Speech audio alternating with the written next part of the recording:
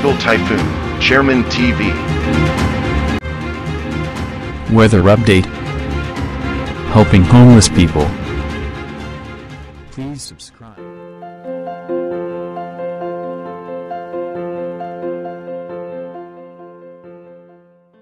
Magandang umaga po. Ito po ang ating weather update ngayong araw, March 25, 2022.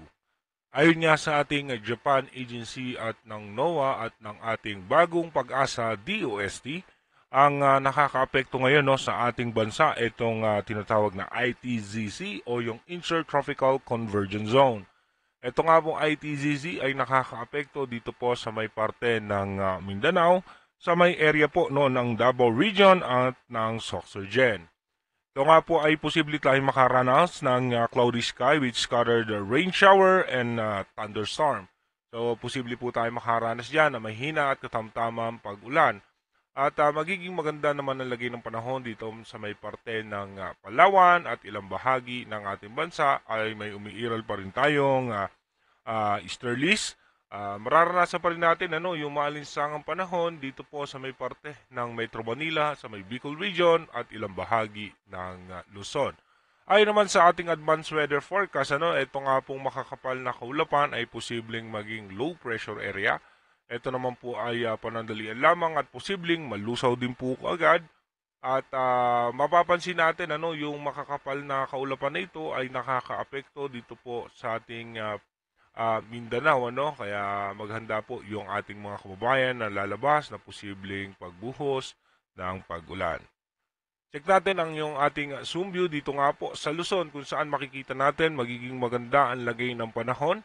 Wala po tayo nakikitang anumang uh, posibleng malalakas na pagulan. Makakaranas lamang tayo dyan no, nung uh, isolated rain shower at yung ating localized thunderstorm lalo po dito sa may parte ng Metro Manila. Dito naman po sa area ng Bicol Region, magiging maganda po ang lagay ng panahon. Wala rin po tayo nakikitang uh, makakapal na kaulapan na posibleng magpaulan sa may Bicol Region. Dito naman tayo sa may parte ng uh, Mindoro Province, magiging maganda rin po ang lagay ng panahon. Ang umiiral pa rin po sa atin dito yung ating easterlies. Kaya posible po tayo makaranas dyan ng maalinsangang panahon. Dumako naman tayo sa may Visayas, Mindanao at ang uh, sa Palawan kung saan nga po noon magiging maganda ang lagay ng panahon ng Palawan. Posible po tayo makaranas dyan no, nung bigla ang mahinang pagbuhos ng uh, ulan, lalo po dito sa may parte ng uh, Visayas. At kung saan nga po no, yung umiiral yung ating ITZC o yung Intertropical Convergence Zone na posibleng magpaulan sa bahagi ng uh, General Santos City, sa may Davao City, Cotabato, maging dito po sa Cagayan de Oro hanggang sa Buanga City, may posible po tayong uh, biglaang pagbuhos ng mahinang pag-ulan.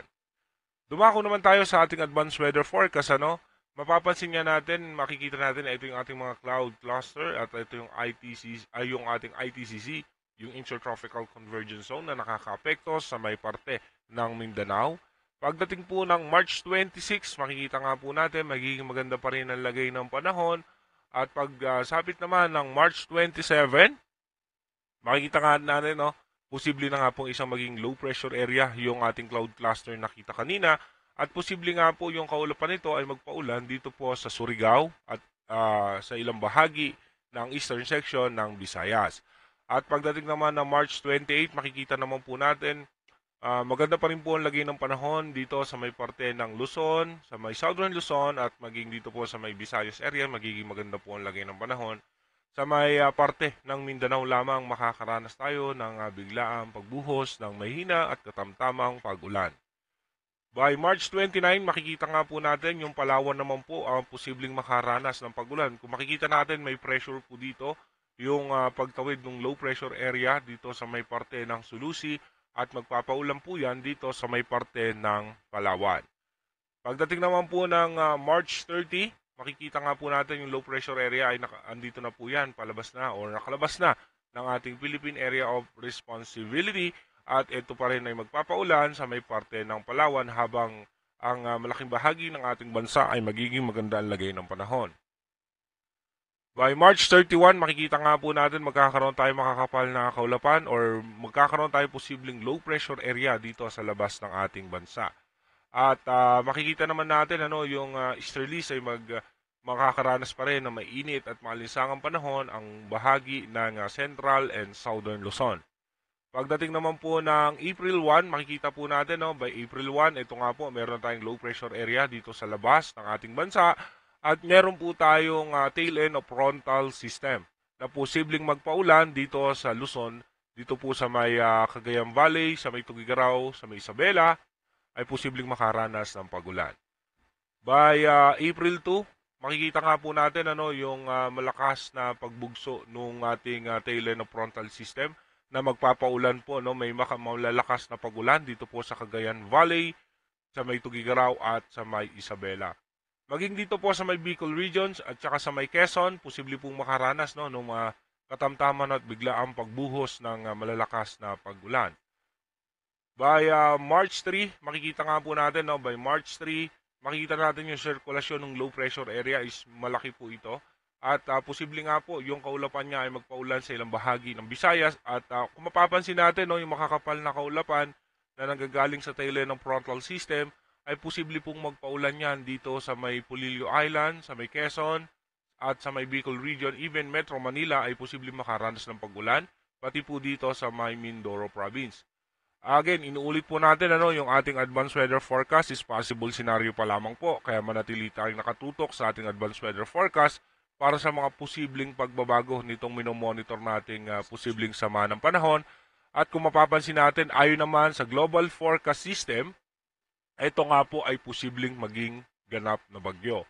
At ito nga po ay posibleng ah, dumaan lamang dito sa ating ah, Philippine Sea at makakaapekto yung malawak na kaulapan or sirkulasyon niya dito sa may Visayas and Bicol region. Again, inuulit natin na ito pong posibleng bagyo ay galing po sa Global Forecast System at yung low pressure area po na nakikita natin kanina na ito po ay galing naman sa European Centre. Maraming salamat po. Mag-iingat po tayo palagi. God bless po sa ating lahat. Copyright disclaimer under Section 107 of the Copyright Act 1976. Allowance is made for fair use for purposes such as criticism, comment, news reporting, scholarship, and research. Fair use is a use permitted by copyright statute that might otherwise be infringing. Non-profit, educational, or personal use tips the balance in favor of fair use. Disclaimer Please note no copyright infringement is intended. I do not own some materials, images, video clips nor audio clips used in this video. All content used fall under the REM it's a fair use. If happen that someone claims their ownership of the said materials above, I will not hesitate to remove them immediately.